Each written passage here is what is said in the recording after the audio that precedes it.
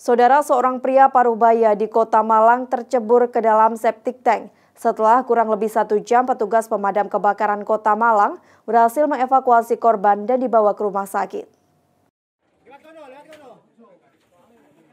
Warga RT 5 RW 4 Kelurahan Buring, Kecamatan Kedung Kandang, Kota Malang, kami siang dihebohkan setelah salah satu warganya tercebur ke dalam septic tank. Pria parubaya tersebut adalah Mustafa yang berusia 55 tahun diketahui Mustafa menderita penyakit stroke selama lima tahun terakhir. Saat itu korban yang sedang berjalan-jalan di sekitar rumah tiba-tiba terperosok dan terjatuh ke dalam septic tank sedalam 6 meter yang berada di beranda belakang rumahnya.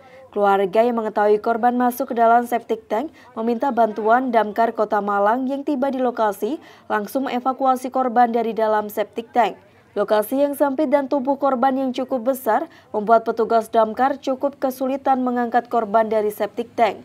Setelah hampir satu jam, korban berhasil dikeluarkan dari dalam septic tank. Kesulitannya di dalam lubang itu ngerong itu, jadi kita pakai pengaman-pengaman juga biar gak sampai yang kita nolong kan gak sampai ambles semua. Jadi posisi ya orangnya besar, bukannya lebih dari satu kintal. Berarti. Kedalaman berapa? Lebih dari satu kintal kalau nggak salah. Kedalaman, kedalaman sumur? Kedalamannya 6 meter. Kedalamannya 6 meter. Posisi di dalam ya bekasnya buangan sapi tank itu ya.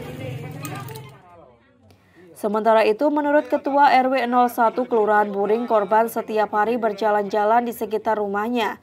Saat berjalan di lokasi kejadian, septic tank yang masih digunakan tersebut jebol dan korban terperosok. Uh, korban atas nama Bapak Mustafa, uh, warga RT 5 RW 1 Kelurahan Buring.